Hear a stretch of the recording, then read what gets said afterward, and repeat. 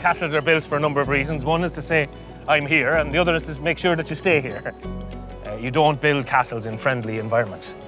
David Gilroy grew up by the most intact castle in all of Ireland, Trim Castle. Everywhere I've ever been in Ireland, it's castles followed by castles followed by castles. How many are there? Well, some say there's up to 30,000 castles in Ireland. 30,000. 30,000. You've seen Trim Castle from the ground. I have. And today we're going to take a different uh, bird's eye view, going to bring you flying. There it is. See, just coming up as you see Trim Castle. Yeah. And as you can see here, it holds a very um, prominent, doesn't it, position. You see the circular field with the sheep? Yeah, yeah. So that is the Hill of Ward. That's where Halloween started. Right so there. The, the Druids used to have a festival. It was called Samhain. On this hill, evidence shows that the Druids set light to a large bonfire, and the feast of Halloween was born.